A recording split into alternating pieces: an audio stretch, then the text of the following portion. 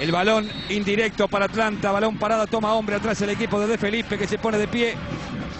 La mete Ramírez, Carri que no puede, le quedó a Bielkiewi. Gol. Milán para mí fue mano, ¿eh? Yo vi una mano en el aire. Milán, gol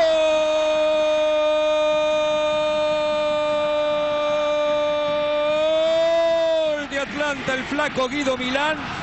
Pareció haber una mano, ya la estaremos corroborando. Atlanta le gana Quilmes 1 a 0 al minuto 5 segundos la etapa inicial. Una polémica que ya va a tratar de destrabar Javier Tavares. Para que esto es discusión, ¿no? Primero, ¿cuál es la posición de Milán? Cuando parte el remate parece un poquito adelantado, después la veremos otra vez. La mano de Kiewicz cuando baja la pelota.